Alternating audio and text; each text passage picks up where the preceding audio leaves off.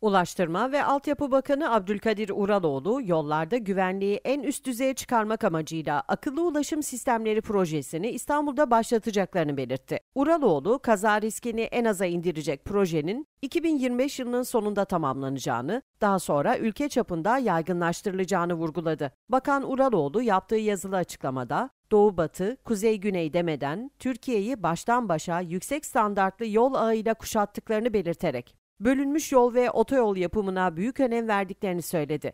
2002 yılında sadece 6 şehrin birbirine bölünmüş yolla bağlı olduğunu anımsatan Uraloğlu, bu sayının şu anda 77'ye çıktığını vurgulayarak, şu anda bölünmüş yollarımız, bütün yol ağımızda hareket eden trafiğin %83'üne hizmet verir hale geldi. Karayollarımıza yaptığımız yatırımlar sayesinde 100 milyon taşıt kilometre başına hayatını kaybeden kişi sayısında %81'lik bir azalma sağladık. Ancak bununla yetinmiyoruz. Yollarımızı akıllı ulaşım sistemleriyle donatarak yol güvenliğini en üst düzeye çıkartıyoruz. Akıllı ulaşım sistemleriyle hayatları kurtarıyoruz dedi. Uraloğlu, karayolu altyapısını inşa ederken teknolojideki gelişme ve küresel trendleri dikkate aldıklarının altını çizerek, akıllı ve otonom teknolojiler sayesinde hızlı ve emniyetli yol altyapısı tesis ettiklerini vurguladı. Araçların otonom sürüş sistemleri için yeni gelişen altyapıyı hazır hale getirmeye devam ettiklerinin de altını çizen Uraloğlu şunları kaydetti.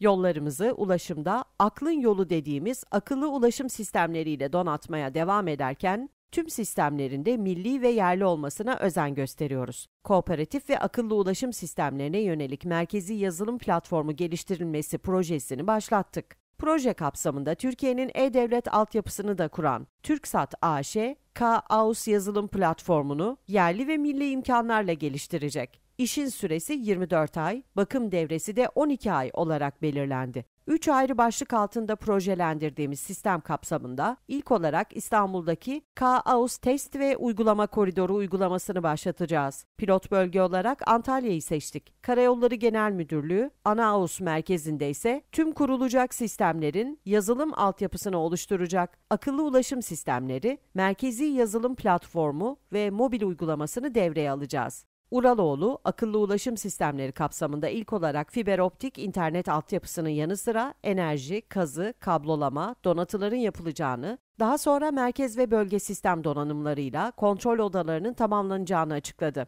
Ayrıca akıllı yol uygulamaları kapsamında bir diğer işin dijital mesaj işaretleri, değişken trafik işaretleri ve meteorolojik bilgi istasyonları olduğunu da anlatan Uraloğlu, Ayrıca yine akıllı yol uygulaması kapsamında sinyalizasyon sistemleri, kamera sistemleri, araç algılayıcı sistemler, simülasyon yazılımları ve merkezi IoT, nesnelerin interneti platformu da kurulacak. Ayrıca tüm Karayolları Genel Müdürlüğü'ne bağlı bölgeler müdürlüklerine de iş zekası ve karar destek sistemi, entegrasyonları ve karayolları mobil uygulaması da yapılacak. Ayrıca akıllı yollarımızı kullanan araçların araç araç, araç altyapı haberleşme altyapısının da kurulumu yapılacak. Bu sistemimiz hayata geçtiğinde akıllı yollarımızı kullanan araçlar diğer araçlarla ve yolun kendisiyle haberleşecek, kaza riski en aza indirilecek dedi.